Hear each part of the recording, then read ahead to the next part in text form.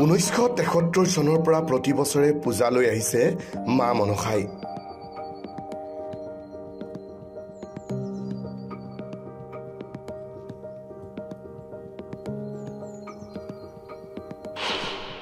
মহানগৰীৰ এটা ঐতিহ্যমণ্ডিত মনসা মন্দিৰৰ বছেৰেকীয়া পূজা। বাৱন্নটা বছৰ অতিক্ৰম কৰিলে ভৰলু পাৰৰ মনসা পূজাই। মহানগৰীৰ মাজমজিয়াৰ ভৰলুমুখস্থিত ঐতিহাসিক মনসা মন্দিৰৰ পূজাভাগে অতিক্ৰম কৰিলে বাৱন্নটা বছৰ।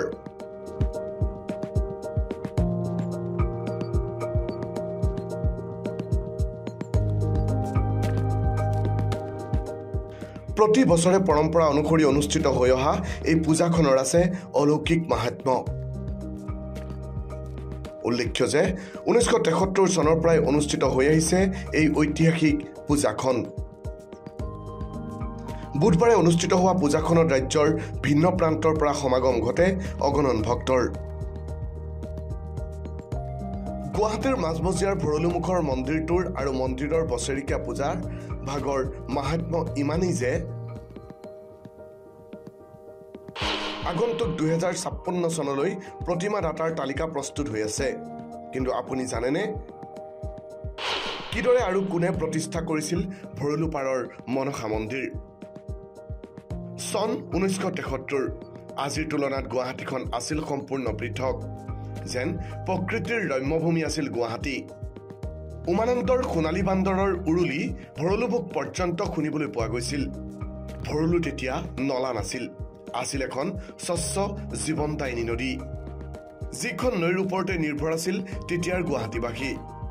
ভৰলুৰ পৰা উজান বজাৰেই আছিল মূলত গুৱাহাটী। তেনে এক সময়তেই ভৰলুমুখৰ কেইজনমান ডেকাই ভৰলু নৈৰ পাৰতেই সদায় সন্ধিয়া গীত কবিতা নাটৰ মজলিচ কৰিছিল। সেইকেইজন ডেকাৰ সপোনত স্বয়ং মা মনসাই দেখা দিয়ে। সেই ডেকা কেইজনে সপোনক অৱহেলা কৰাত আটাইকেইজন ডেকাক সপোনৰ মাধ্যমেৰে মা মনসাই এক প্ৰকাৰ আদেশ দিয়ে যে অতি শীঘ্ৰেই মা মনসাৰ পূজা দিব লাগে আৰু সেই স্থানত মা মনসাৰ মন্দিৰ নিৰ্মাণ কৰিব লাগে।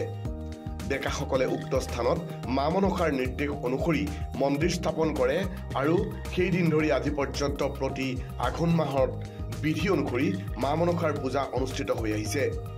গুৱাহাটীৰ মাজমজিয়াৰ এই মন্দিৰটোৰ আৰু মন্দিৰৰ বছেৰেকীয়া পূজা ভাগৰ মাহাত্মৰ বাবেই হয়তো আগন্তুক। দুহেজাৰ ছাপন্ন চনলৈ প্ৰতিমা দাতাৰ তালিকা প্ৰস্তুত হৈ আছে। News desk report current train Assam.